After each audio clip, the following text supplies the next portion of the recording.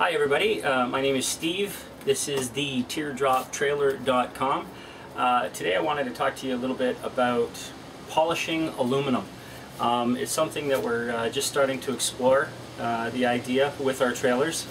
Um, I actually went to Princess Auto and uh, bought this buffing and polishing kit and uh, inside um, it just tells you the different applications. It gives you six different steps um, and in uh, the kit, you actually get um, the red uh, Jeweler's Rouge and white diamond polishing compounds.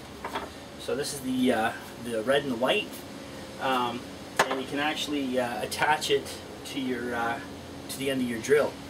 Now, the first drill I started with was only um, 1500 RPM, and that didn't seem to, uh, to work well enough. So I've gone to the 2500 RPM and it's still um, I don't know if it's it's fast enough. I'm probably going to upgrade now to an actual grinder. But um, for the time being uh, we're using the, uh, the 2500 RPM drill.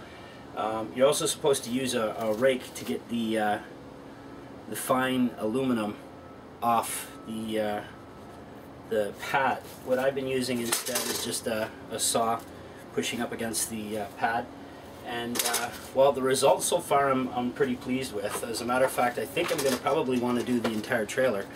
But uh, enough said, just for, for now, uh, give you an idea on what the actual results are so far. This is uh, the side of the trailer. This is without the uh, polish. And then this is the rear of the trailer. And that's uh, the polished aluminum. And if you go up to it, you can actually uh, see your face. It's, uh, it's, a really nice shine. Um, I want to get it polished a little more. Once I perfect the back, I think we're going to do the entire trailer. It'll really give it a, a nice appearance. And that's it. TeardropTrailer.com.